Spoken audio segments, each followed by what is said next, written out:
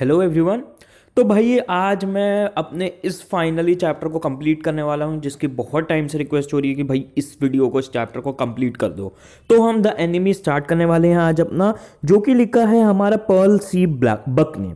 तो भाई मैं एक चीज़ बता दूँ, ये चैप्टर हद से ज़्यादा आसान है। लैंग्वेज बहुत ईजी है इस चैप्टर की। कुछ टफ नहीं है इस चैप्टर में, बस इसका टफ इसके साथ दिक्कत क्या है? बहुत लेंदी चैप्टर है आपकी लिटरेचर का, सबसे लंबा चैप्टर है। बट टेंशन नहीं यार चैप्टर ईजी है, हम मज़े से इसको कर देंगे। चैप्टर इंटरेस्टिंग भी बहुत ज़्यादा है ये।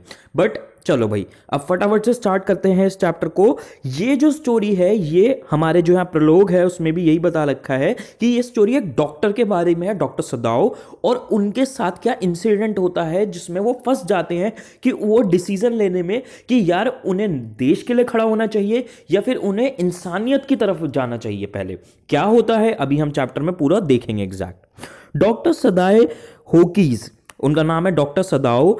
तो डॉक्टर सदाओ होकी नाम है। तो doctor Sadao Hoki house was build on a spot of of the Japanese coast तो कोस्ट क्या होता है भाई? कोस्ट वैसे कुछ ऐसा होता है मतलब बीच अगर आप देखो ना तो इसे देखने में आपको दिखी लग रहा होगा कि बीच होता है। हालाँकि कोस्ट और बीच में बहुत फ़र्क होता है बट हम यहाँ पे चैप्टर के कॉन्टेक्स्ट में कोस्ट और बीच को सेम मान के चलते हैं कंफ्यूजन नहीं क्रिएट करते। अगर आपको जानना है तो गूगल से कर लो। डिफरेंस सर्च पर कोई इंपॉर्टेंट नहीं है इतना। तो डॉक्टर सदाओ का जो घर है, वो जापानीज कोस्ट पे जापानीज कोस्ट के पास बना हुआ है where as a little boy he had often played मतलब वहाँ पे वो बचपन से वो वहीं रह रहे हैं कोस्ट के पास जापानीज कोस्ट के पास, और बचपन में वो वहीं खेला करते थे। The low square stone house वो set up upon rocks well above a narrow beach तो उनका जो घर था, वो स्क्वायर घर था जो स्टोन स्टोन हाउस का क्या मतलब हुआ? मतलब उनका घर जो है वो थोड़ा स्टोन वर्क उसमें ज़्यादा था। तो was built upon rocks well above narrow beach तो जो उनका घर था, वो कई सारे पत्थर मतलब जो बीच था बीच से नैरो बीच नैरो बीच यहाँ पे जैसे हम फ़ोटो में देख भी सकते हैं ये बीच ऐसा नहीं है बहुत लंबा सीधा सीधा जा रहा है ये ए, एक यहाँ पे कट है यहाँ पे घूम रहा है। तो नैरो बीच पे उनका काफ़ी थोड़ा आगे जाके पत्थरों के ऊपर लगा बना हुआ था घर। क्यों? क्योंकि भाई अगर बीच के पास यार वेव्स आती है फ्लड्स आ जाए तो उनका घर ना डूब जाए इस चक्कर में उनका स्टोन्स के ऊपर बना हुआ था घर और बीच से थोड़ा आगे जाके था। That was outline with bent pines और उनके जो भाई वहाँ पे घर था, उसके आसपास बेंट पाइन्स थे। बेंट पाइन्स एक तरीके के पेड़ होते हैं। तो वहाँ बीच में और उनके घर के आसपास, जैसे आप इस फ़ोटो में भी देख सकते हो, ये ट्रीज हैं। हालाँकि पाइन ट्री थोड़ा ऐसा नहीं दिखता, थोड़ा अलग दिखता है बट मैटर नहीं करता, ऐसे वहाँ पे ट्रीज भी थे। और आप जैसे यहाँ देख सकते हो, बीच में यहाँ पे पत्थर भी हैं। अभी आपको पता नहीं चलेगा बट हाँ पत्थरों का अभी आपको आगे स्टोरी में देखेगा बहुत काम है। कहाँ पे पत्थरों की बातें होती हैं। तो जो बीच था उसके आसपास बेंट पाइन्स थे घर के आसपास थे। As a boy Sadao had climb the pines तो बचपन की अब उसकी कहानी बताई गई है कि बचपन में वो आ, इन पाइन ट्रीज को चढ़ा करते थे supporting himself on his bare feet अपने बेयर फीट के थ्रू बेयर फीट मतलब नंगे पैर. As he had seen men do in the south seas when they climbed for coconut वो ऐसे ही करता था मतलब जैसे वो नंगे पैर चढ़ता था पाइन ट्रीज पे, वो उसने वहाँ से सीखा था, जब वो साउथ सीज में गया था. साउथ सीज अगेन जापान में एक जगह है, वहाँ पे बचपन में जब वो जाता था और देखता था कि लोग चढ़ते हैं कोकोनट्स तोड़ने के लिए, वो उन्हीं की तरह पाइन्स पे चढ़ा करता था बचपन में. His father had taken him often to the island of those seas and never had failed to say to the little brave boy at his side. मतलब उसके जो अगेन बचपन की बात करी गई है सदाओं के तो बचपन में जब उनके पापा उन्हें लेके जाते थे साउथ सीज के आइलैंड में, और जब वो never had he failed to say the little brave boy at his side और वो हमेशा वो अपने उस छोटे बच्चे को, अपने बेटे को, सदाओ को कहा करते थे वहाँ ले जाके। लिटिल ब्रेव बॉय मतलब यहाँ पे ये भी दिखाया गया कि सदाओ बचपन से ही काफ़ी ब्रेव इंसान था। दोज आइलैंड यॉन्डर क्या कहते थे उन, सदाओ के पापा उन्हें? कि दोज आइलैंड यॉन्डर यॉन्डर का क्या मतलब होता है? ये पुराना स्टाइल होता है इंग्लिश का यॉन्डर का मतलब सिंपल होता है there they are the stepping stones to the future for Japan वो क्या कहते थे सदाओ को कि वो आइलैंड देख रहे हो? साउथ सीज में जब उस, उस उनके पापा उसे लेके जाया करते थे वो उन्हें कहते थे कि वो आइलैंड वहाँ देख रहे हो? वो जापान के लिए स्टेपिंग स्टोन्स है। मतलब उन आइलैंड पे हमें हम इतनी प्रोग्रेस करेंगे कि हमारा जो कंट्री है हमारा देश है वो बहुत बड़ी पावर बनेगा। Where shall we step from them Sadao had asked seriously और जब वो छोटा सदाव पूछा करता था पापा से कि, पापा, वहाँ से हम कहाँ पहुँचेंगे? मतलब क्या होगा वो उन पे? हु नोज़ उसके पापा रिप्लाई करते थे तो क्या पता? His father had answered who can limit our future it depends on what we make it बहुत प्यारी लाइंस बोली हैं उसके पापा ने, और यहीं पे हमें सदाव की अपब्रिंगिंग भी दिखती है। उसके पापा क्या कहते थे कि, किसको पता?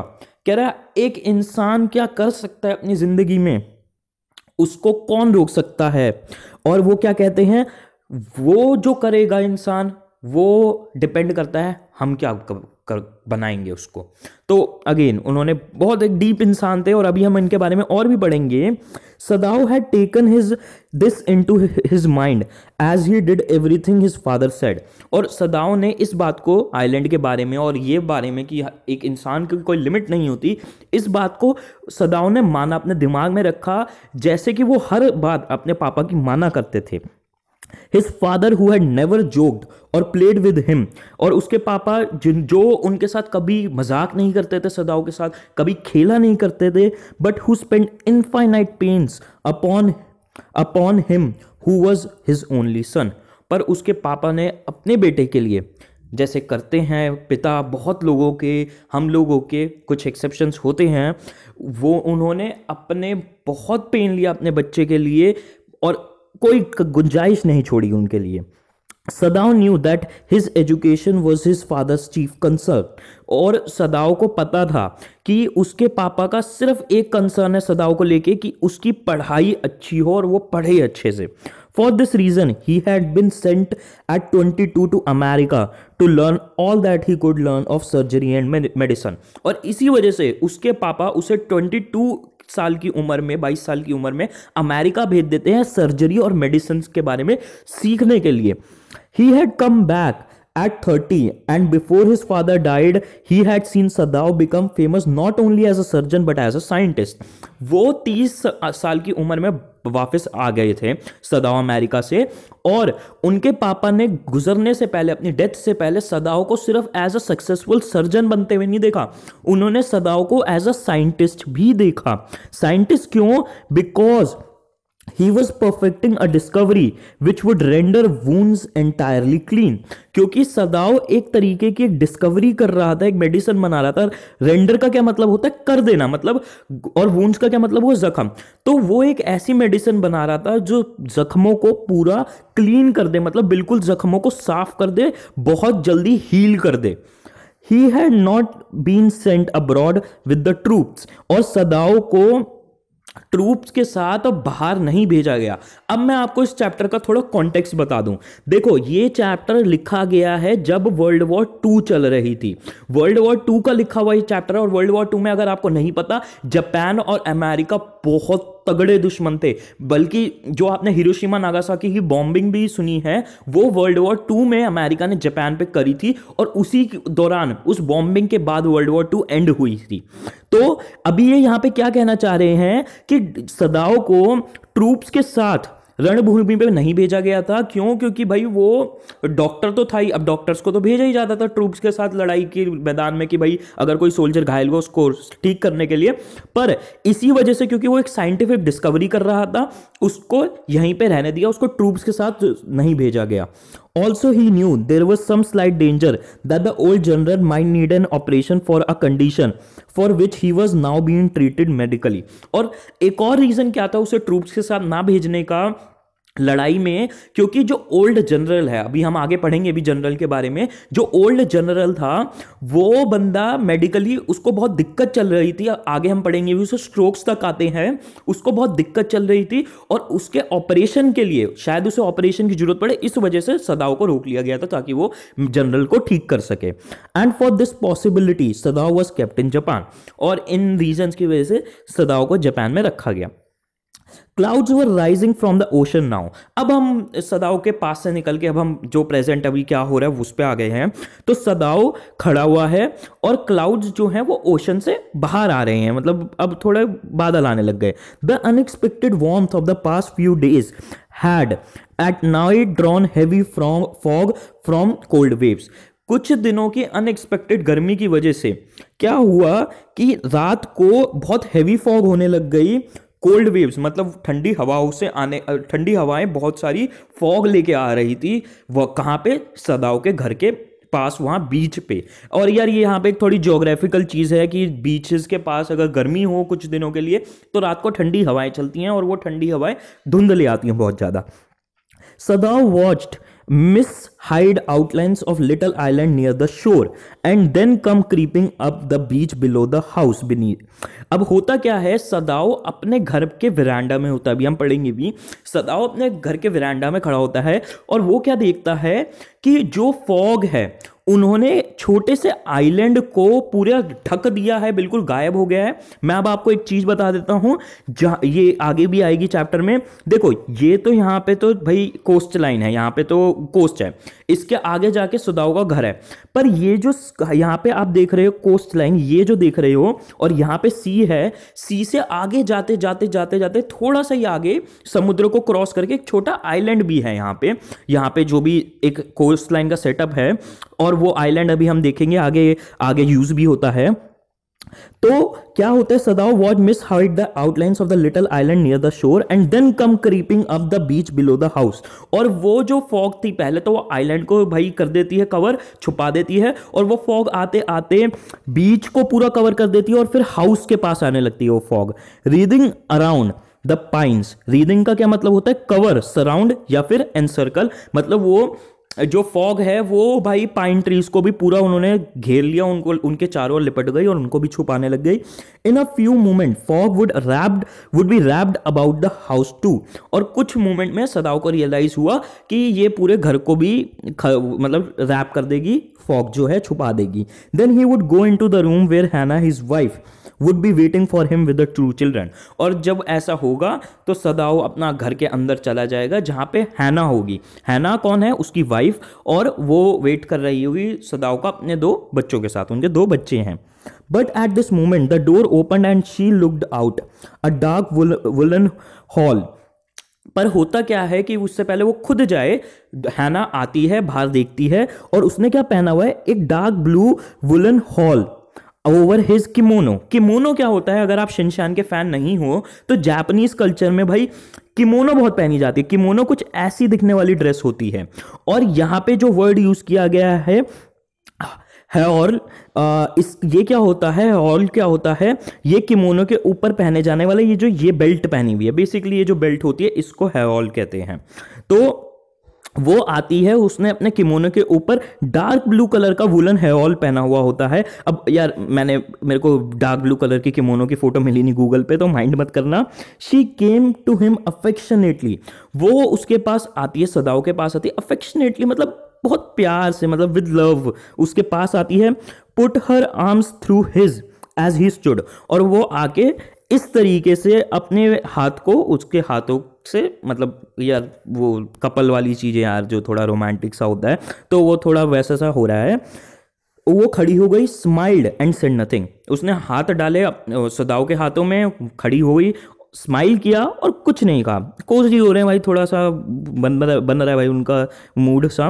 आ, ही हैड मेट हैना इन अमेरिका अब यहाँ पे दोबारा पास की स्टोरीज बोली जा रही हैं कि वो हैना से मिला था अमेरिका में। सदाओ हैना से अमेरिका में मिला था but he had waited to fall in love with her until he was sure she was Japanese पर भाई हैना को देख के इसको मतलब भाई दिल में हलचल मच तो गई थी वायलन बच गए थे। पर उसने उसके साथ मतलब वो उसके लिए पागल तब तक नहीं हुआ सदाओ जब तक वो बिल्कुल श्योर नहीं हो गया कि वो जैपनीज है हैना और मैं आपको ये चीज़ बता दूँ, ऐसा क्यों है? क्योंकि जापानीज कल्चर में आज की भी डेट में, उस टाइम वर्ल्ड वॉर टू से, खैर, ये तो वर्ल्ड वॉर टू के भी बहुत पहले की कहानी, उसके मतलब जब वो कॉलेज में तो तब की कहानी बताई जा रही है। जापानीज कल्चर जो है, वो अपने आप को उस टाइम बहुत सुपीरियर माना जाता था। उन्हें लगता था कि हमसे ऊपर कोई कल्चर नहीं है। और जापानीज में मतलब इंडिया से भी ज़्यादा इस चीज़ की स्ट्रिक्टनेस होती है, और ये तो आज भी है कि एक जापानीज दूसरे जापानीज से मतलब जापानीज के अलावा किसी और से शादी कभी और किसी कीमत पे नहीं करते। इनफैक्ट आज भी भाई जैप जापान अपने कल्चर को लेके बहुत क्लोज है और वो अपने कल्चर को बहुत ऊपर मानते हैं। और बट मेरा पर्सनल ओपिनियन मानो तो जापनीज वैसे होते बढ़िया लोग हैं यार, इनका कल्चर होता बड़ा प्यारा है। His father would never have received her unless she had been pure in her race और मैंने जो अभी बात बताई, वही बात लिखी हुई है कि उसके पापा, सदाओ के पापा कभी हैना को एक्सेप्ट नहीं करते जब तक वो प्योर इन रेस मतलब उन्हीं की जात की, उन्हीं जापनीज ना होती। He wondered often whom he would had, have married, if he had not met Hana और वो सोचता है, वो कई बार ही सोचता है बात कि अगर हैना नहीं मिली होती तो वो किससे शादी करता? और इस टाइम मुझे थोड़ा ऑ मूवमेंट लग रही है यार, कितना, कितनी प्यारी बातें कर रहा है सोचता है वो। And by what luck he had found her in the most uncasual way और मज़े की बात ये है, यहाँ पे लिखा हुआ है, और कितनी किस्मत की बात है कि वो हैना से बड़े कैजुअल वे में मिला था। कहाँ पे? बाय चांस लिटरली मतलब लिटरली बाय चांस ही मिला था वो at an American professor house एक, जहाँ पे वो पढ़ा करता था अमेरिका में वहाँ पे उनके यूनिवर्सिटी के एक प्रोफेसर के घर में मिला था सदाओ, हैना से। The professor and his wife had been kind people anxious to do something for their new foreign students तो एक्चुअल में सीन क्या था? जो प्रोफेसर और उनकी वाइफ थे, वो बड़े काइंड बड़े अच्छे लोग थे। एंशियस का क्या मतलब है? ईगरली मतलब वो ईगरली वो बड़ा चाहते थे कि वो अपने फॉरेन स्टूडेंट्स के लिए कुछ करें। And the student though bored had accepted their their kindness और होता क्या है कि वो एंक्शस होते हैं, वो स्टूडेंट्स को कहते हैं, भाई, चलो मिलते हैं, हमारे घर आओ, हम बैठेंगे।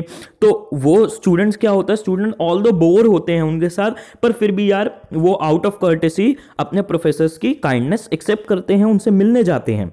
Sadao had often told Hana how nearly he had not gone to professor Harley's house that night और सदाओ हैना को कई बार बताता है कि, भाई बहुत मैम, बस ये मान लो कि मैं उस दिन प्रोफेसर उस रात प्रोफेसर के घर बिल्कुल बस आने ही नहीं वाला था बट आ गया किस्मत से।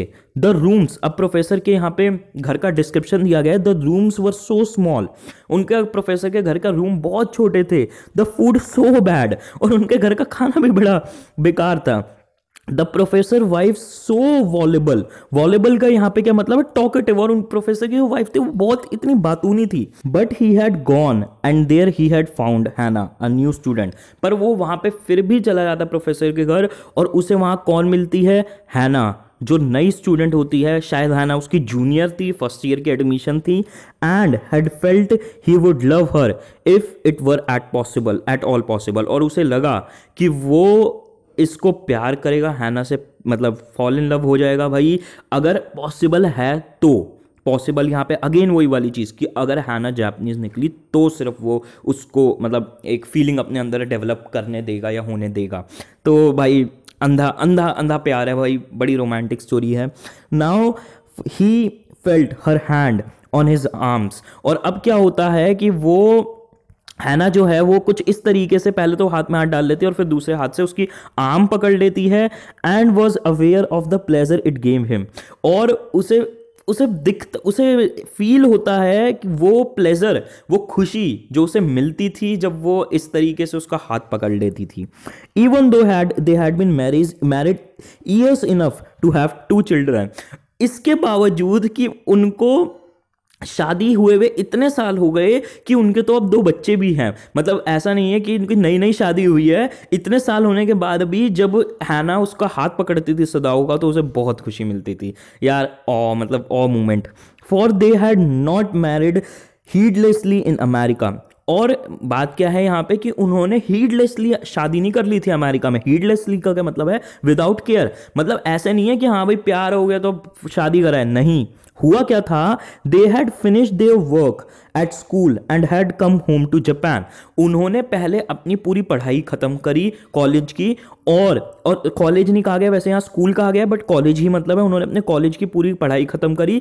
जापान आए and when his father had seen her the her the marriage had been arranged in the old Japanese way यार मैं पहली बात बता दूँ, मेरा स्लिप ऑफ़ टंग बहुत हो रहा है और मैं मतलब वैसे मैं वीडियो टेक्स में करता हूँ, मैं इस टाइम कट करके नहीं कर रहा क्योंकि मेरे को जल्दी वीडियो बनानी है और भाई विश्वास करना लगातार इतना लंबा बोल के गला सूख जाता है। तो उन्होंने ऐसा नहीं है केयरलेसली शादी कर लिया अमेरिका में। उन्होंने पहले स्कूल खत्म किया and when his father had seen her marriage और उसके पापा ने जब उनकी शादी देखी had been arrange in the old Japanese way उन्होंने बिल्कुल इस चीज़ को मेक श्योर sure किया कि उनके पापा, उनके पेरेंट्स मतलब सदाओ के पापा, ये देख लें कि उनकी शादी बिल्कुल प्रॉपर जापानीज वे में हो रही है।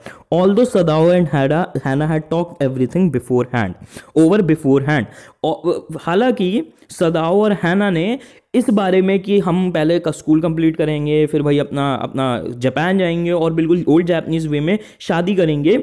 इस सब के बारे में उन्होंने पहले ही बात कर ली थी आपस में। देवर परफेक्टली हैप्पी वो बिल्कुल अपनी शादी से बिल्कुल खुश थे। She had she laid her cheeks against his arms और फिर वो अपनी चीक्स जो है अपने गालों को जो है वो उसके उस भाई लंबा होगा शायद उससे तो वो उसके गा, अपने गालों को उसकी आर्म्स के अगेंस्ट रेस्ट पे कर देती है। It was at the moment that both of them saw something black come out of the mist भाई, उनकी रोमांटिक मूवमेंट अब यहाँ पे खराब होने वाली है। होता क्या है कि उसी समय वो देखते हैं कि कुछ काला काला सा उस धुएँ से निकल के आ रहा है। इट वॉज़ अ मैन और मज़े की बात क्या होती है? वो एक आदमी था। He was flung up out of the ocean वो ओशन से फ्लंग अप हुआ। फ्लंग अप का क्या मतलब है? टू थ्रो मतलब ओशन ने उसे बिल्कुल थ्रो करा उस इंसान को it seem to his it seemed to his feet by a breaker breaker क्या होता है? या ब्रेकर क्या होता है? देखो ब्रेकर होता है जो ओशन होता है। ओशन में जब ये ऐसी लहर सी आती है फोम वाली लहर जो होती है, इस फोमी लहर को हम ब्रीकर कहते हैं। तो क्या होता है? ये पूरी लाइन का दोबारा मतलब देते हैं। He was flung out of the ocean वो फ्लंग होता है, उसे ओशन बाहर फेंक देता है। फ्लंग और यहाँ पे अब देखो लिखने का स्टाइल क्या है? डैश लगा है और फ्लंग पहले तो ऑथर ने कहा क्या? कहा, भाई, उसे फेंका गया ओशन से बाहर। और फिर डैश और फ्लंग और यार, जैसे हम बातों में नहीं कहते, हम बात रिपीट कर देते हैं एक बात बोलने के बाद तो ऑथर ने इसी तरीके से डैश करा और फिर बोला, फेंका गया। मैं दोबारा बोल देता हूँ ऑथर ने क्या लिखा? उसे ओशन ने बाहर फेंका। फेंका। इट सीम्ड ऐसा लगा to his feet by a breaker कि उसको ओशन ने फेंका अब उसके पैरों के थ्रू, एक ब्रीकर के द्वारा मतलब हुआ क्या कि वो ना, उनको, वो वहाँ खड़े हुए थे सदा और उन्होंने क्या देखा, ओशन से एक ब्रीकर आया, यानी ऐसी लहर आई फोम वाली, और उस लहर ने जो हमारा मैन था, उसे फीट के थ्रू एकदम फेंका ओशन से बाहर। He staggered a few steps staggered का क्या मतलब है? टू मूव और स्टैंड अनस्टेडली मतलब वो मूव कर रहा था, कुछ कुछ उसने कदम धीरे धीरे लटकते हुए बढ़े। जैसे कि हम यहाँ पे देख भी रहे हैं, बड़े पेन के साथ उसने थोड़ा सा वो बढ़ा। His body outlines again the mist और उसकी बॉडी जो थी उसकी बॉडी आउटलाइन हो गई। मतलब सिर्फ़ उसकी बॉडी की लाइन दिख रही थी। पूरी बॉडी भी नहीं दिख रही थी, सिर्फ़ लाइन दिख रही थी मिस्ट के around his arms above his head और उसी दौरान क्या होता है? वो जैसे ही थोड़े से कदम चलता है, वो गिर जाता है। और गिरते हुए क्या हम जब गिरते हैं, हम क्या कर लेते हैं? हम अपने आर्म्स जो है, हम अपने हाथ जो है, उनसे अपने हेड को बचाते हैं। सबसे पहले हम अपने हाथ आगे करके हेड को बचाने के लिए गिरते हैं। तो इसी तरीके से his arm above his head यहाँ लिखा गया कि वो गिरता है और वो अपने हाथों से अपने सर को बचाते हुए गिरता है। Then he curled then the curled mist hid him again और जो मिस थी, वो उसे दोबारा कर्ल्ड मिस्ट जो है, उसे दोबारा धुआँ बिल्कुल छुपा देता है। Who is that Hana cried cried यहाँ पे मतलब रोने नहीं लग गई। मतलब है ना एकदम से अमेजमेंट में एकदम थोड़ा परेशान होकर बोलती है ये कौन ये कौन था? She dropped Sadao's arm and they both leaned over the railings of the veranda वो क्या करता है? वो फिर उसका हाथ छोड़ दिया सदाओ का। बेचारा सदाओ, उसका हाथ छोड़ देती है और वो दोनों वरांडा वरांडा क्या होता है? मैं क्लियर कर दूँ, जो घर के पास अब जैसे आप देख रहे हो घर है, जो रईसों के घर होते हैं भाई, उनके घरों के बाहर, ऐसे यहाँ पे जो आप देख रहे हो, ये खाली स्पेस होता है। तो वो इसी खाली स्पेस पे खड़े हुए थे, दोनों इतनी देर से अपने रोमांटिक मूवमेंट्स ले रहे थे तो वो इस रेलिंग पे दोनों एकदम से लीन अगेंस्ट हो जाते हैं मतलब एकदम झाँक के देखने लगते हैं इस रेलिंग के ऊपर। The man was on his hands and knees मतलब अब वो दोबारा उस आदमी को देखते हैं, वो अब अपने हाथों और नीज पे था क्रॉलिंग। मतलब वो अपने हाथों और अपने घुटनों पे क्रॉल कर रहा था। क्रॉल करने का भाई वैसे तो इजी है, क्रॉल यहाँ पे कुछ इस तरीके का सीन था कि वो इतनी बुरी तरह जख्मी था कि अब वो बिल्कुल रेंगता हुआ दिखा उन्हें। Then they saw him fall on his face and lie there और फिर वो क्या देखते हैं, वो क्रॉल रेंगना भी बंद कर देता है और अपने मुँह के बल बिल्कुल वहाँ पे लेट जाता है। मतलब उसकी बिल्कुल शायद बेहोश हो गया है वहाँ पे। A fisherman perhaps Sadao said अभी सर, जैसे हैना ने ऊपर कहा था, और हाँ मैं बता दूँ, इस चैप्टर में ऐसा बहुत होता है कि हैना कोई बात कहती है, उसके बाद पाँच दस लाइन लिखी होती है, और फिर सदाउ का रिप्लाई आता है। तो यहाँ पे क्या हुआ? हैना ने ऊपर कहा, ये कौन था? तो ये सारी लाइनें लिखी हुई पर सदाउ एकदम से क्या रिप्लाई करता है कि शायद कोई मछुआरा है। Sadao said wash from his boat. शायद एक मछुआरा है जो अपनी बोट से गिर के यहाँ पे आ गया है। समुद्र में बेचारा गिर, गिरता पड़ता हुआ।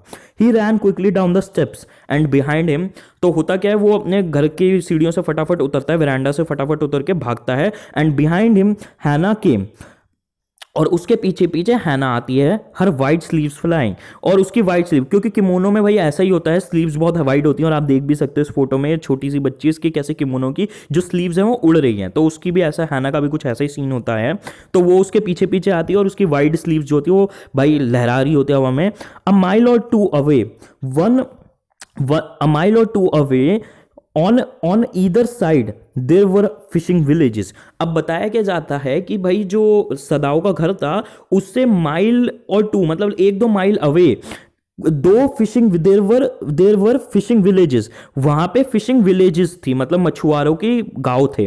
But but here was only the bare and lonely coast dangerous with rocks पर यहाँ पे तो जहाँ सदाओं का घर था, वहाँ पे सिर्फ़ एक कोस्ट था, एक बिल्कुल बेयर एंड लोनली बिल्कुल अकेला, शांत कोस्ट था डेंजरस विद रॉक्स और वहाँ पे बहुत सारे पत्थर भी थे। जैसे मैंने ऊपर वाली फ़ोटो में आपको दिखाया था कि जहाँ पे सदाओं का कोस्ट लाइन थी, वहाँ पे उसके घर के पास वाली कोस्ट लाइन पे पत्थर भी थे। The surf beyond the beach was spiked with rocks surf का क्या मतलब होता है? सर्फ होती है ये व्हाइट फॉर्म अभी मैंने ऊपर भी दिखाई थी, बीच पे जो व्हाइट फॉर्म आती है लहरों की, इनको सर्फ कहा जाता है। तो यहाँ पे क्या कहा गया है कि the surf beyond the beach वो स्पाइक विद रॉक्स और वही बात रिपीट करी गई है जो सर्फ थी मतलब पत्थर कोस्ट लाइन पे भी थे सदाओं के घर के पास भी थे और जहाँ पे सर्फ थी मतलब जहाँ पे ये फोम आती थी, वहाँ पे भी रॉक्स थे बहुत सारे। Somehow the man had manage to come through them he must be badly torn और किसी तरह वो आदमी जो था, वो उन सबको क्रॉस करता करता सदाओं के घर के पास पहुँच गया। पर वो ही मस्ट बी वो कहते हैं कि वो ज़रूर बहुत बुरी तरह टॉन मतलब उसकी स्किन जो है, वो वो जो है बंदा, वो फिजिकली बहुत बुरी तरह कटपिट गया होगा।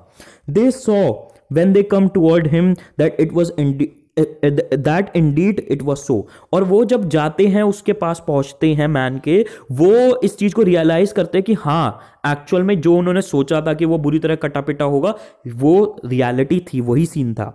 The sand on one side of him had already stain of red soaking through मतलब क्या है, उस आदमी के साइड की जो सैंड थी, वहाँ पे रेड सोकिंग थ्रू सोक करने का क्या मतलब होता है? एक्सट्रीमली वेट मतलब जो सैंड थी, वो बिल्कुल बिल्कुल गीली हो गई थी रेड से। रेड का मतलब यहाँ पे ब्लड है। तो मतलब उसके ब्लड से जो साइड में उसके सैंड थी, वो बिल्कुल भीग गई थी।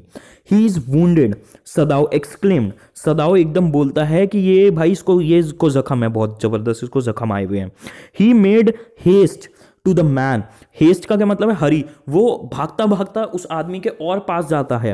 हु ले मोशनलेस जो बिल्कुल मोशनलेस वहाँ पे पड़ा होता है। His face in in the sand और उसका जो चेहरा होता है उस आदमी का, वो बिल्कुल सैंड में छुपा होता है। An old cap stuck to his head soak with sea water और उसके जो सर होता है, उस पर कैप होती है, जो सी वाटर से बिल्कुल अच्छे से मतलब उसमें भरा हुआ होता है पानी। He was in the wet rags of garments और वो जो लड़का होता है, वो आदमी होता है, वो वेट रैग्स रैग्स भाई, हमें, हमने भाई पुरानी अपनी गोइंग प्लेसेज में भी पढ़ा था रैग्स के बारे में। गोइंग प्लेसेज नहीं सॉरी रैट रैप में। रैग्स मतलब बिल्कुल उसके कपड़े, कटे फटे कपड़े उसने पहने हुए होते हैं। सदाओ चॉप्ड और, और सदाओ एकदम उसके पास आके रुक जाता है हैना एट साइड उसके साथ में सहना भी रुक जाती है and turn the man's head they saw the face और वो मैन का हेड जो है वो मोड़ते हैं और वो चेहरा देखते हैं। A white man Hana whispered Hana एकदम कॉन्शियसली एकदम घबरा के बोलती है एक वाइट मैन एक गोरा इंसान मतलब क्या है ये जो इंसान है ये अमेरिकन है और मैं आपको बता दूँ भाई वर्ल्ड वॉर के टाइम अगर आपको थोड़ा सा भी हिस्ट्री का आइडिया हो अमेरिका और जापान की इतनी भिड़ती थी जितनी इंडिया और पाकिस्तान की नहीं भिड़ती, इतनी ज़बरदस्त भिड़ती थी अमेरिका और जापान की। Yes it was a white man और क्या अब नरेटर यहाँ पे हमारा ऑथर क्या लिखता है? हाँ वो एक वाइट आदमी था। The wet cap fell away and there was his wet yellow hairs जो कैप होती है, वो भी गिर जाती है और उसके वेट येलो हेयर्स मतलब गोल्डन हेयर्स ब्लॉन्ड बंदा था वो, उसके गोल्डन हेयर दिखने लगते हैं। लॉन्ग और वो लंबे होते हैं as though for many weeks it had not been cut और इस तरीके से लंबे होते हैं, ऐसा नहीं है कि फैंसी वाले लंबे हैं, वो इस तरीके से लंबे जैसे कई हफ्तों से काटे ही ना गए हों।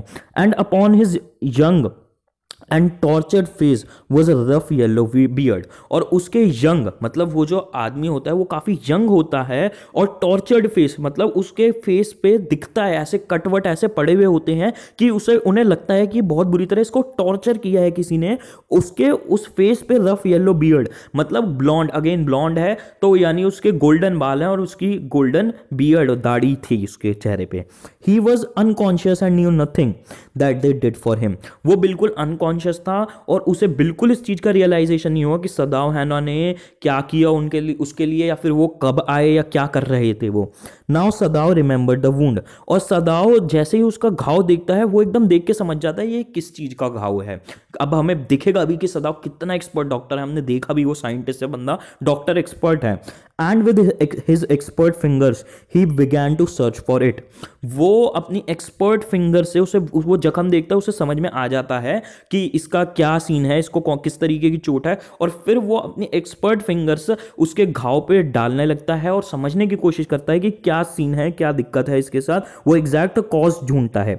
Blood flowed freshly at his touch और जैसे ही वो उसके वूंड को टच करता है उसका जो ब्लड है उस उस वुंड से एकदम से बहने लगता है बिल्कुल फ्रेश ब्लड निकलता है।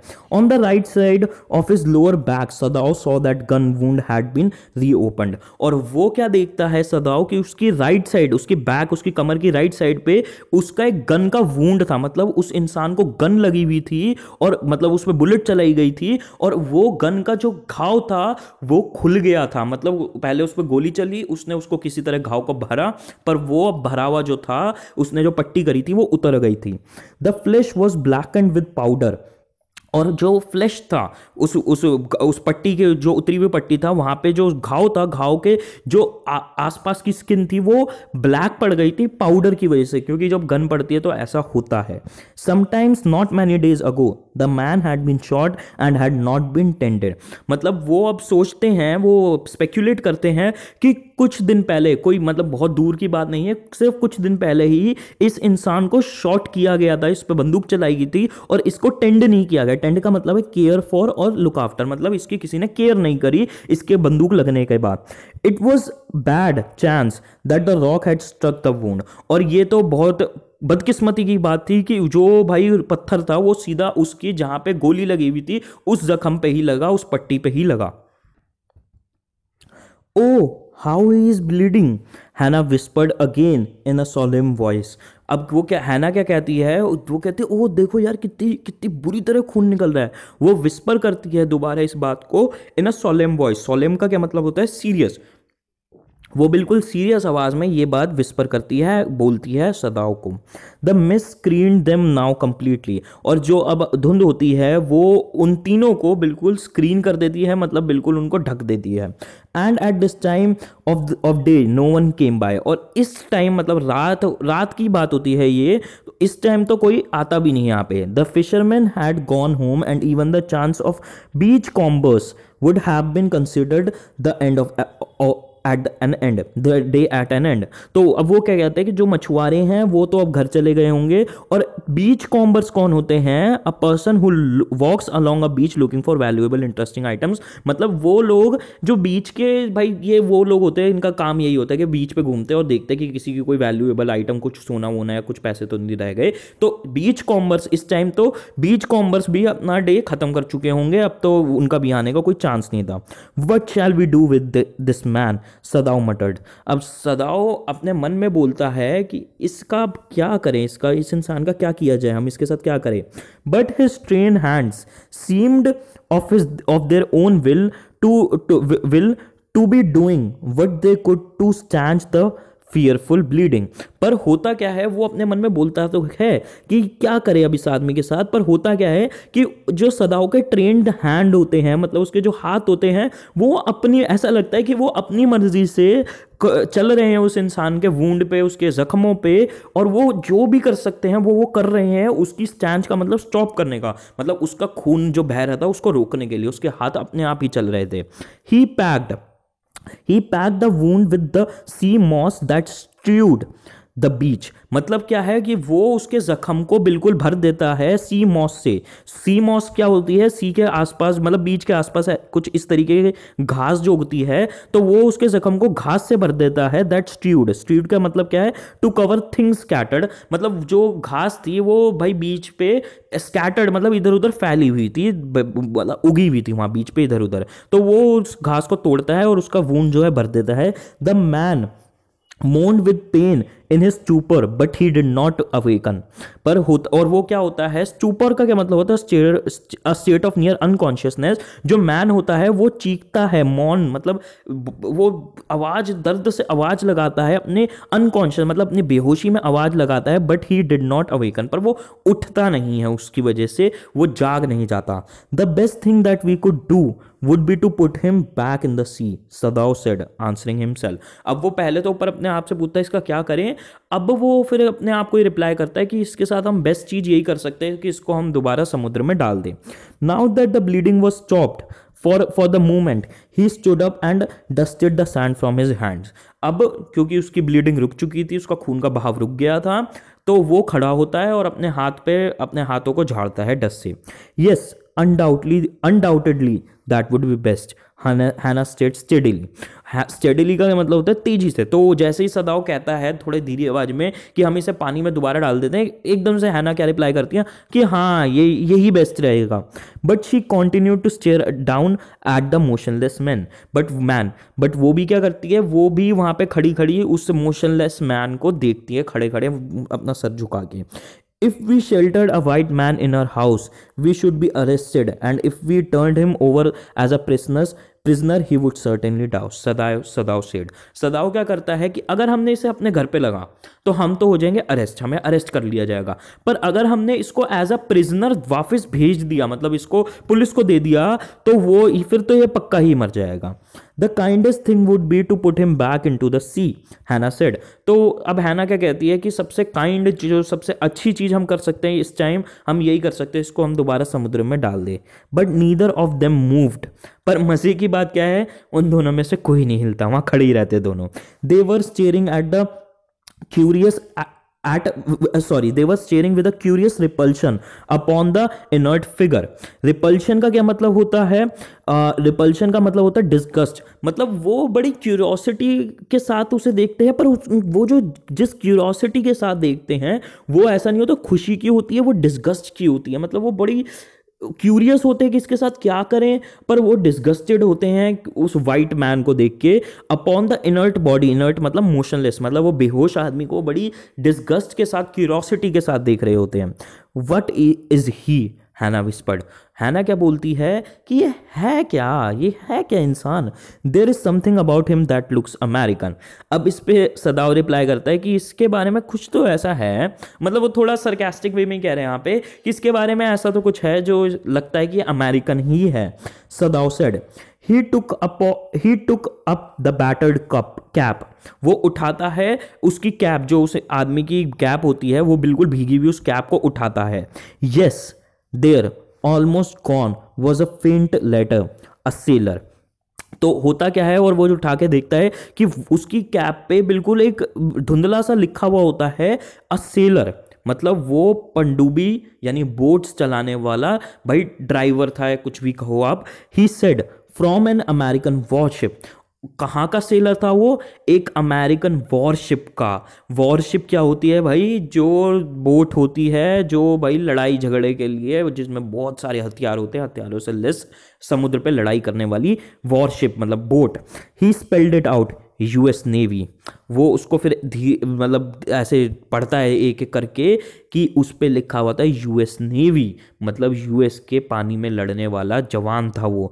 The man was a prisoner of war यहाँ पे एक्सक्लेमेशन मार्क तक लगा हुआ है, अगर आप नोटिस करो, ये अपने आप में बहुत बड़ी बात है कि ये जो आदमी था, ये सिर्फ़ एक नॉर्मल अमेरिकन नहीं था, ये प्रिजनर ऑफ़ वॉर था। प्रिजनर ऑफ़ वॉर कौन होते हैं? जो एनिमी मतलब क्या है? मतलब कि अमेरिका और जापान की कोई लड़ाई हुई होगी कुछ टाइम पहले, और जापान ने अमेरिकन इस इस जो भी सेलर था, इसको उन्होंने कब्जे में ले लिया था। प्रिजनर ऑफ़ वॉर वही होता है कि जब आपका अपोनेंट पार्टी आपके किसी इंसान को कैप्चर कर ले, गिरफ़्तार कर ले, उसको कब बंदी बना ले उस इंसान को कहते हैं प्रिजनर ऑफ़ वॉर तो भाई, वो भाई बंदी था उनको गिरफ़्तार किया था जापानीज ने अमेरिकन ने. He has escaped Hana cried softly Hana एकदम घबरा के हल्का से धीरे आवाज़ में बोलती है कि ये भागा हुआ प्रिजनर ऑफ़ वॉर है. And that is why he is wounded और इसी वजह से इसके ऊपर जख्म है. In the back Sadao agreed मतलब सदाओ हैना की बात पे एग्री करते हुए टोन में क्या कहता है कि हाँ तभी ये बैक पे वुंडेड है. हुआ क्या कि ये भाग रहा होगा और इसको किसी ने पीछे से गोली चला दी और ये इसकी पीठ पे तभी जख्म है। They hesitated looking at each other then Hana said with resolution वो पहले एक दूसरे को देखते हैं घबराते हुए और फिर हैना क्या रेजोल्यूशन के साथ कहती है। रेजोल्यूशन का मतलब होता है फॉर्म डिटर्मिनेशन मतलब बिल्कुल डिटर्मिनेशन वाली वॉइस से क्या कहती है? Come are we able to put him back into sea कहती है आओ क्या हम इसको सी uh, में वापस डाल सकते हैं? If I am able to are you Sadao, आज सदाओ से क्या पूछता है कि अगर मैं ऐसा कर सकता हूँ या फिर मैं कर करूँ तो क्या तुम करोगी, मेरा हाथ बटाओगी, मेरे मेरे साथ उसको डालने में मेरी मदद करोगी? No no. हैना सेड हैना उस पर रिप्लाई क्या कहती है? नहीं, मैं नहीं but if you can do it alone मैं नहीं कर सकती, पर अगर तुम इसको अकेले कर सको तो। सदाओ हेजिटेटेड अगेन सदाओ भी इस टाइम हेजिटेट करता है। क्यों हेजिटेट करता है? वो बताता है क्यों? The strange thing is he said वो कहता है कि अजीब बात पता है क्या है? That if the man were whole I could turn him over to the police without difficulty कि अगर मैन होल मतलब मतलब वो बिल्कुल, ये अगर बिल्कुल ठीक होता तो मैं इसको पुलिस को दे सकता था बिना सोचे समझे, बिना किसी परेशानी के। I care nothing for him he is my enemy वो क्या कहता है कि मैं इसके बारे में मेरे को कोई केयर नहीं है। ये मेरा दुश्मन है। अगेन यहाँ पे आपको पता चल रहा है कि जापानीज और अमेरिकन में कितनी हेट थी उस time all American are my enemy all वो अमेरिका में पड़ा हुआ है सदाओ, पर वो फिर भी क्या कहता है कि सारे अमेरिकन मेरे दुश्मन हैं. And he is only a common fellow और ये भी उन्हीं की तरह एक नॉर्मल आदमी है. Yes you see how foolish his face but since he is wounded वो क्या कहता है कि तुम देख रही हो, कैसा गंदा सा, अजीब सा चेहरा इसका. मतलब वो हेट वाली चीज़ चाहे वो दिखने में स्मार्ट हो, पर वो अमेरिकन है, इसलिए उनके हेट है उनके मन में। But see since he is wed पर अब आगे रिप्लाई क्या करता है? सुधाओ, क्या कहता है कि क्योंकि ये इसके जख्म, ये जख्मी है। और उसकी बात डॉट डॉट डॉट यहाँ पे सिग्निफाई करती है, उसकी बात कंप्लीट नहीं होती, उसकी बात है ना इंटरप्ट करते हुए क्या कहती है you also can not throw him back into the sea उस पर क्या कहती है रहना कि क्योंकि ये जख्मी है हदाओ बोल रहा होता है कि क्योंकि ये जख्मी है है ना उसकी बात काटती है और बोलती है, तुम इसको सी में नहीं डाल सकते क्योंकि ये जख्मी है. है ना सेड देर देन यार ये मेरे को सॉफ्टवेयर बड़ा परेशान कर रहा है बार बार ना, या बार बार इसका ये निकले जा रहा है। Then there is only one thing to do we must carry him into the house तो अब इस पर हैना क्या रिप्लाई करती है कि अब फिर इस केस में हम सिर्फ़ एक ही चीज़ कर सकते हैं कि हम इसको घर ले चलें। But but the servants Sadao inquired पर सदाओ एकदम से पूछता है कि सर्वेंट्स का क्या, जो हमारे नौकर है, वो उनका क्या? We must simply tell them that we intend to give him to the police तो वो क्या कहती है? है ना इस पर क्या रिप्लाई करती है कि हमें फिर उनको बस सिंपली हम उन्हें ये बोल देंगे कि हमारी इंटेंशन यही है कि हम इसको पुलिस में दे देंगे। As indeed we must Sadao. और फिर इस पे है ना और आगे क्या कहती है? और एक्चुअल में हमें यही करना चाहिए Sadao. We must think of the children and your position वो क्या कहती है कि हमें सोचना चाहिए बच्चों के बारे में और तुम्हारी जो रेप्यूटेशन है तुम्हारी जो पोजिशन है it would endanger all of us if we did not give this this man over as a prisoner of war हम सब पे ये ये हम सबको बहुत बड़े खतरे में ला देगा। अगर हम इसको पुलिस को ना दे दें as a prisoner of war मतलब हम पुलिस को ना इसको पकड़ा दें ये, ये बताते हुए कि ये भाई हमारी गिरफ्त से भागा हुआ प्रिजनर ऑफ़ वॉर मतलब अमेरिकन प्रिजनर है। सर्टेनली सदाव एग्रीड और सदाव इस पर क्या कहता है कि हाँ बिल्कुल। सर्टेनली का मतलब होता है बिल्कुल। I would not think of doing anything else तो उस पर अब सदाव क्या कहता है उसके आगे कि मैं भी इसके इसके अलावा और कुछ करने की सोच भी नहीं सकता। Thus agreed they together they lifted the man तो इस बात पे वो दोनों आपस में एग्री करने के बाद वो दोनों एक साथ उस मैन को उठाते हैं। He was a very light like a fowl वो बहुत लाइट वेट होता है लाइक अ फॉल फॉल का होता है, क्या होता है? बर्ड तो वो वो बिल्कुल लाइट वेट होता है बर्ड की तरह। That had been hard half starved for a long time until it was only feathers and skeletons और वो बिल्कुल बर्ड की तरह बिल्कुल हल्का होता है। वो भी वैसे, जैसे वो बिल्कुल हाफ़ स्टार्व्ड स्टार्व्ड का क्या मतलब होता है? और ये बहुत बेहतरीन वर्ड है स्टार्व्ड आप इसको अपने एग्ज़ाम में ज़रूर लिख के आ सकते हो राइटिंग सेक्शन में. स्टार्व्ड का मतलब होता है भूखा, कि वो बिल्कुल भुखमरा, भुखमरी होती है स्टार्व्ड का एक्चुअल मतलब. तो वो ऐसा था कि वो बिल्कुल बर्ड की तरह हल्का था, और उसमें भी ऐसा लग रहा था कि उसको आधा उसको खाया ही नहीं उसने कुछ टाइम से. और उसकी बॉडी पे सिर्फ़ उसके फेदर्स और स्केलेटन मतलब एक बर्ड की तरह जिसने कुछ भी ना खाया हो बहुत दिनों से, और उसके बस बॉडी पे अब सिर्फ़ पंख और हड्डियाँ बची हैं। So his arms hanging they carried him up to the steps and into the side door of the house तो वो उसकी आर्म्स हैंग क्योंकि मतलब सदाव ने शायद सर से पकड़ रखा था और हमारी हैना ने उसको पैरों से पकड़ रखा था तो उसके हाथ जो है, बेहोशी में लटक रहे हैं, वो उसको carried him up the steps मतलब वो उसके घर के पास लाते हैं, सीढ़ियाँ चढ़ते हैं फ्रंट की छोटी छोटी जो सीढ़ियाँ होती हैं into the side door of the house और वो मेन डोर से उसको नहीं लेके जाते, भाई, जैसे बड़े बड़े घर हैं, भाई, अमीर लोग हैं तो इनके घर में साइड डोर है। कुछ इस तरीके का एक दूसरा दरवाज़ा है साइड का। Side door of the house this door open into a passage और ये जो जब वो डोर खोलते हैं, वो एक पैसेज में जाता है। पैसेज मतलब कुछ शायद इस तरीके का था कि वो डोर खोलते हैं, वो एक छोटा सा रास्ता होता है और फिर वो रूम में जाता है। तो वो जब खोलते हैं गेट पैसेज से निकलते हैं and down the passage they carried the man towards an empty bedroom तो वो पैसेज से निकल के उसे उसको मैन को प्रिजनर ऑफ़ वॉर को खाली बेडरूम में लेके जाते हैं। It had been the bedroom of Sadao's father and since his his death it had not been use और ये जो बेडरूम था, इसके बारे में बताया गया है कि ये बेडरूम सदाओ के फादर का था, और जब से वो मरे हैं, तब से बिल्कुल भी यूज़ में नहीं लिया गया है। They laid the man on the deeply matted floor वो उस आदमी को डीपली मैटेड मतलब उस फ्लोर पे भाई बिल्कुल अच्छे से मैट एक बिछा हुआ था। डीपली मैटेड मतलब देखो, यहाँ पे जैसे आप देख सकते हो, यहाँ टेबल है और साइड में ये सारा मैट है मतलब एक मोटा सा मैट था, डीपली मैटेड फ्लोर पे, वो उसको रख देते हैं उसकी बॉडी को। कहाँ गई यार अपनी लाइन? हाँ। Everything here had been Japanese to please the old man और इस रूम में सब कुछ जो इस रूम की लुक्स थी, वो बिल्कुल जापनीज थी, बिल्कुल पूरी संस्कारी जापानीज थी उस ओल्ड आदमी को प्लीज़ करने के लिए। मतलब वो जापान जापान को लेके उसके पापा बहुत पैट्रियोटिक थे, बहुत फॉलो करते थे वो जापानीज कल्चर को स्ट्रिक्ट थे वो लेके।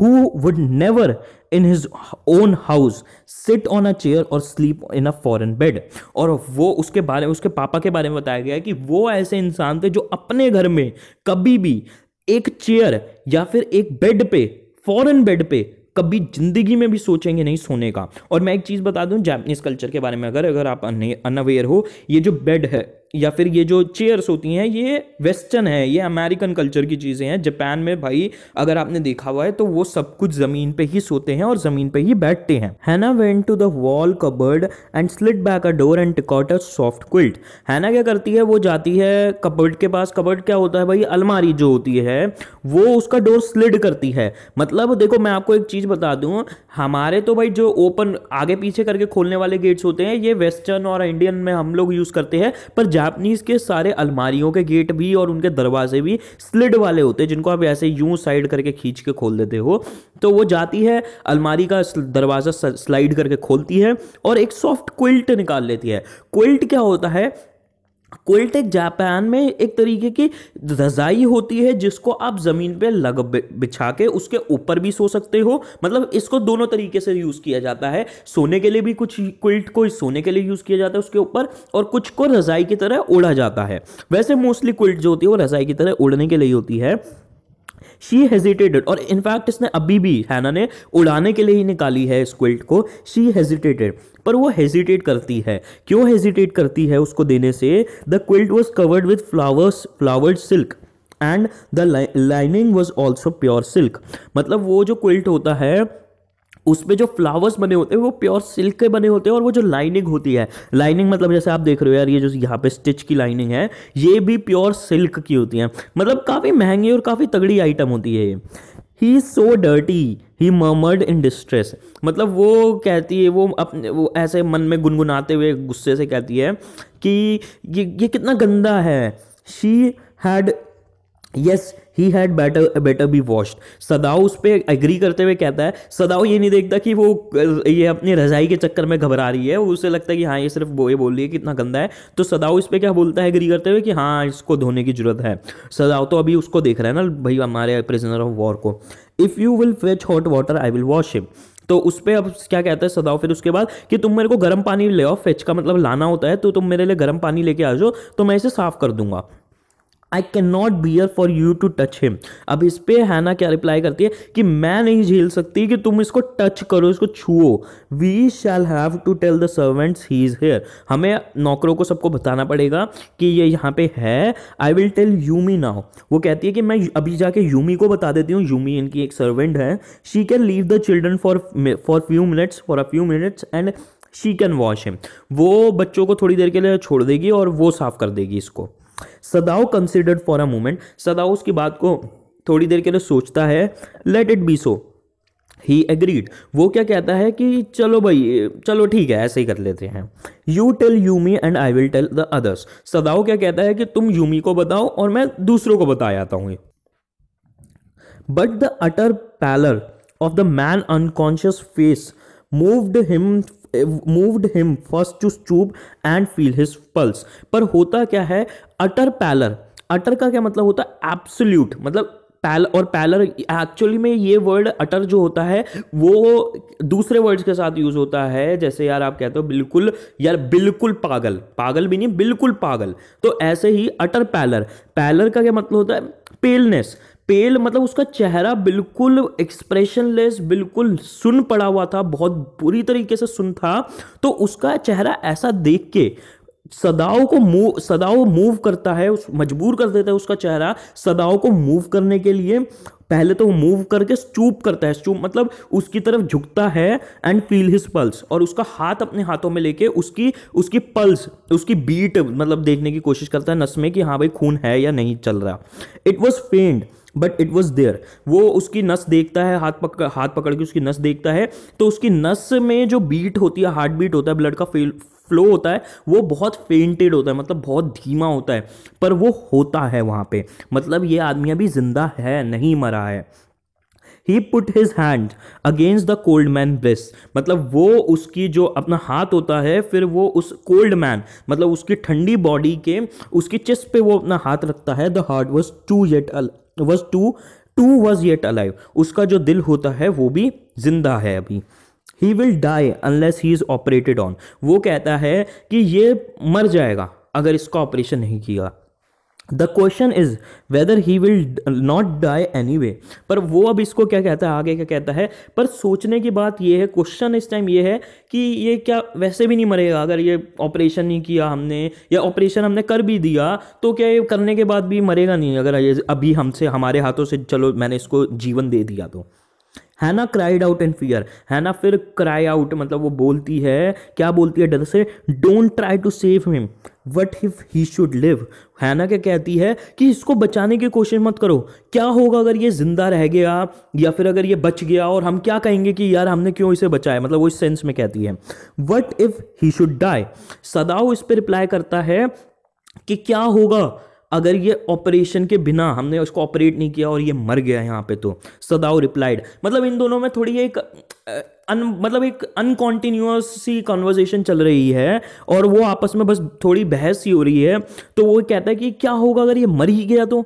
Sadao replied he stood gazing gazing का मतलब होता है देखना, वो खड़ा हो जाता है gazing down at the motionless man वो खड़े मतलब खड़े होते हुए उस मोशनलेस बेहोश आदमी को देखता देखता खड़ा हो जाता है this man must have extraordinary vitality or he would have been dead by now और फिर हमारे ऑथर क्या कहते हैं इसके बारे में? कि ये इंसान ज़रूर बड़ा अच्छी इसकी हेल्थ थी, बड़ी अच्छी फिजिक थी, नहीं तो अभी तक तो कोई नॉर्मल इंसान तो मर चुका होता।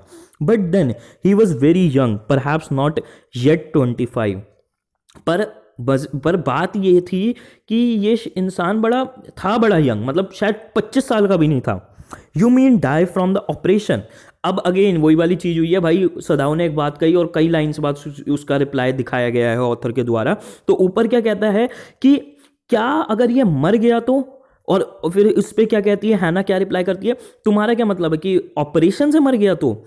हैना आस, हैना उसे पूछते हैं कि क्या मतलब तुम्हारा ऑपरेशन से मर गया तो? यस सदाओ सेड और उस पर रिप्लाई करता है कि हाँ अगर हाँ मतलब मेरे बात का मतलब यही था कि अगर ये मर गया तो और फिर भाई अपनी हैना पूछते ऑपरेशन से मर गया तो? तो सदाओ कहते हैं हाँ। भाई, अभी के लिए बहुत बड़ी वीडियो बन चुकी है। मैं फटाफट से अपलोड करने वाला हूँ सेकंड पार्ट। इतने, इसको कंप्लीट करो। तुम्हारे पीछे पीछे सेकंड पार्ट भी इसका आ जाएगा। कल सुबह तक तो पक्का कंप्लीट हो जाएगा ये पूरा चैप्टर। मैं रात को भी अपलोडिंग करूँगा। तो टेंशन नहीं गाइज़ आप अभी ये कंप्लीट करो। आगे फटाफट वीडियोज़ आ रही हैं। Bye and best of luck.